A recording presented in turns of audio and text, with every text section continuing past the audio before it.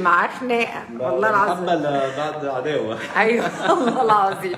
بعد كده قلت ما حدش هيمد إيده على رقبتي يكسرها غيره.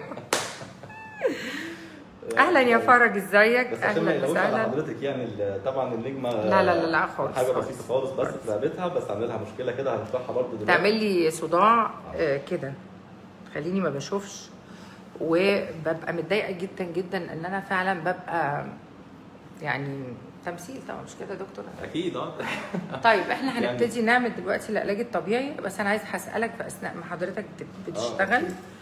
آه أنا يعني كتير عملت علاج طبيعي بيتعمل بال machine. معظم الناس بتعمل بال machine. أنا عايزة أعرف إيه يعني فايدة إيدك؟ أنا ريحتني انها بتشتغل بطريقة معينة. تمام. هو طبعا يعني فرق كتير بين ال manual therapy اللي هو الشغل ال manual تقدر تشيل ال- آه okay. سمحت لك. أيوه. تمام. آه، في فرق كبير بين ال manual therapy وبين الأجهزة.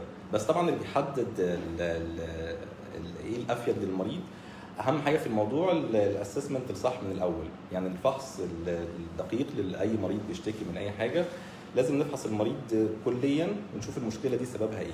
يعني مثلا آه، أستاذ وفاء مثلا بتشتكي من صداع. هي مش عارفة سبب الصداع إيه.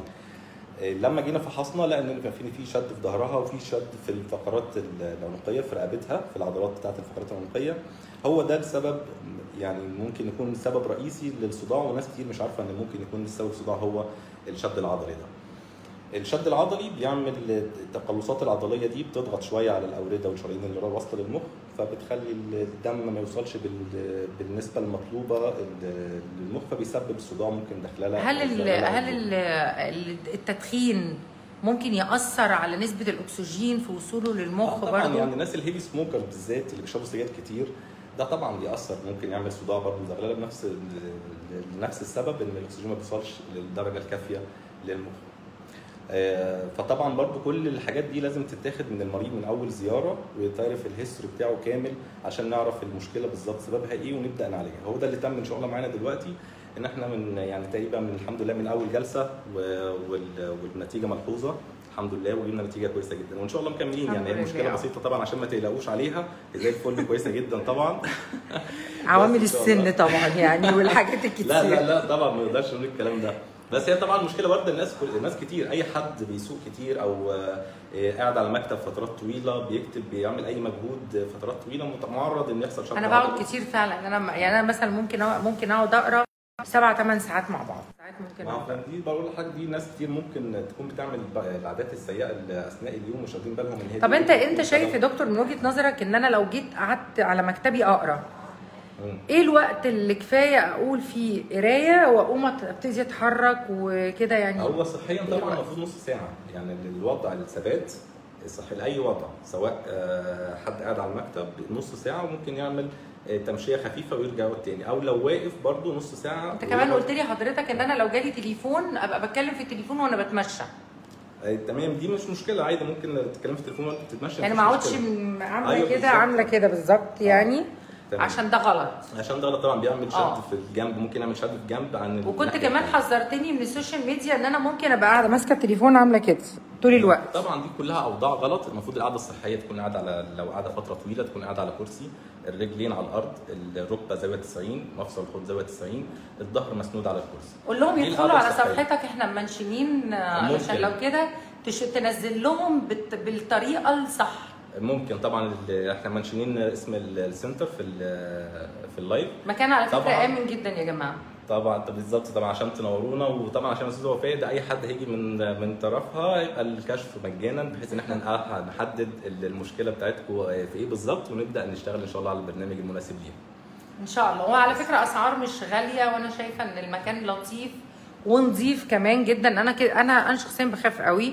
وببقى قلقانة جدا جدا لو رحت في أي حتة عملت أي حاجة بتاع يعني أنتوا شايفين ان إحنا بالكمامات وهنا على طول. هن على طول حتى الكلينكس ال- المحطوط اللي على طول المطهرات بره يعني الناس هنا زي الفل وبعدين اللي لفت نظري ما شاء الله ما شاء الله إن إحنا عندنا ناس من كل دول العالم بتيجي هنا إن آه، عنده في دور يعني. في ال center هنا أنا شايفة ما شاء الله للاقامه طبعا الإصابات إصابات كتير وبتبقى الحمد لله إحنا كويسين بتيجي إصابات تقيلة وأنا يعني على علم وشفت في إصابات حوادث ربنا كرمك فيها وحققت يعني حاجة كويسة يعني. حد أعرفه يعني. وإن شاء الله نكون عند حسن ظن الجميع إن شاء الله. ربنا يكرمك إن شاء الله يا. دكتور وإن شاء الله بإذن الله إن شاء منتظرين لو الله. أي حد عنده سؤال ممكن يسألني في comment مثلا أو يبعت لي أو يجي لي يشرفني for free إن إحنا نشتغل أو إن شاء الله هتتبسطوا جدا وإن شاء الله بإذن الله أنا هبتدي بقى العلاج الطبيعي بتاعي. يلا بينا.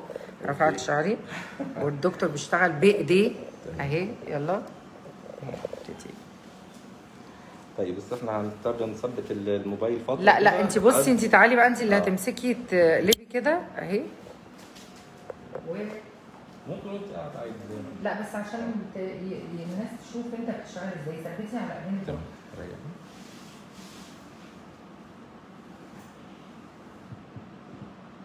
طبعا المشكلة عندنا ال- الشد العضلي ال- ال- في العضلات بتاعة الرقبة في الناحيتين.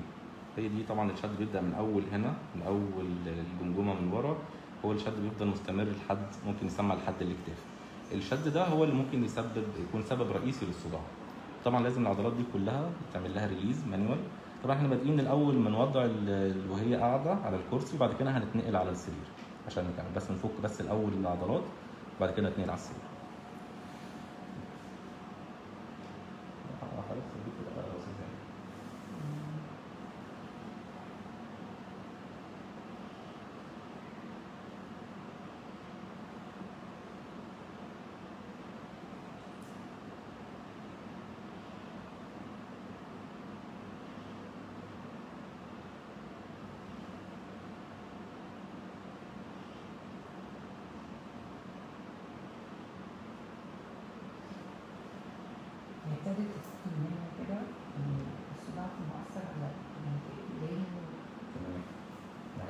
الحركه دي بتخلي العضلات فوق وفي نفس الوقت الدم بيمشي كويس في المنطقة. طب بتكلم الناس عن عن أهمية حتى العلاج الطبيعي.